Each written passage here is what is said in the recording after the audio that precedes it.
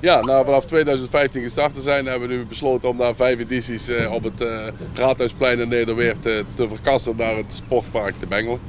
Nou, een hele grote tent gaan we dit, dit jaar dus neerzetten als Raadpop-editie. De tent is 30 meter bij 57 meter, dus het is een, best een jaap van een, van een tent. Wij zijn ook nu met intree begonnen. Het was eerder gratis, nu zijn we met intree. En daar kunnen ook weer grotere artiesten aangetrokken worden tegen een relatief scherpe entryprijs.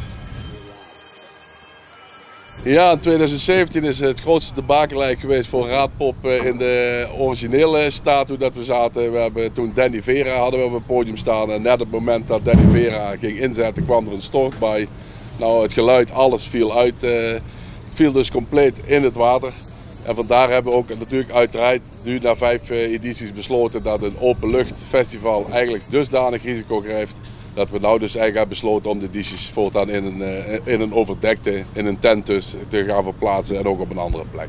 We hebben wat uitgebreid natuurlijk omdat we een compleet festival neer willen zetten. En eh, de charme daarvan is natuurlijk ook dat we grotere publiektrekkers hebben, maar ook een compleet foodcentrum hebben neergezet. Dat mensen ook lekker al van een hapje kunnen genieten als tijdens de ombouw van, uh, van de bands. Nou, we hebben een geheel gevarieerd programma. We hebben mooie headliners weten te, binnen te hengelen.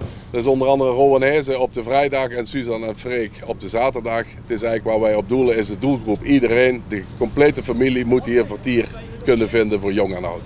Kaarten zijn nog verkrijgbaar. Een dagkaart kost 36 euro, een weekendkaart kost 61 euro. En dat is allemaal nog online te verkrijgen tot donderdag 12 uur, straks.